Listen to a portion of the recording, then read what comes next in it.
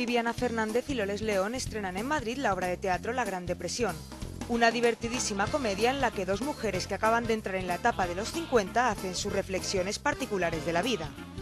Numerosos rostros conocidos de la música, el cine, teatro y televisión no han querido faltar a este estreno.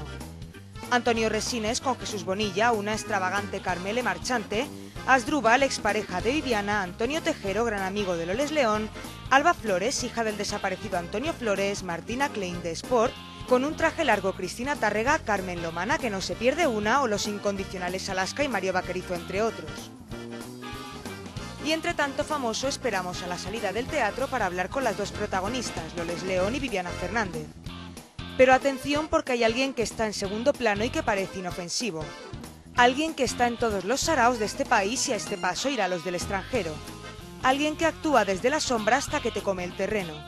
Ese hombre tiene un nombre, Mocito Feliz.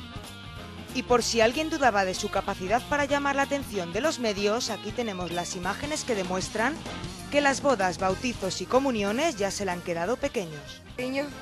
Uy, pues me la voy a poner en el camerino, mira. Gracias, guapo.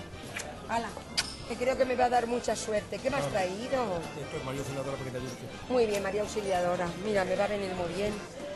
Bueno, pero Mira ya que, verás. mira qué regalo tengo para ti, mira. Muchas gracias, mocito. Hoy, mocito, están bodas, bautizos, comuniones, Mira, están encima. La Virgen, que me vendrá bien que yo como tú. Ya lo sé, por eso te digo que la Virgen algo bueno ¡Viva. Viviana Fernández! Y viva. ¡Viva, viva! viva!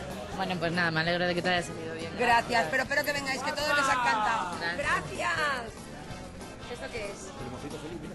Ah, el mocito feliz. Bueno, que vayáis a verle. Duquesa de Alba de Adopta.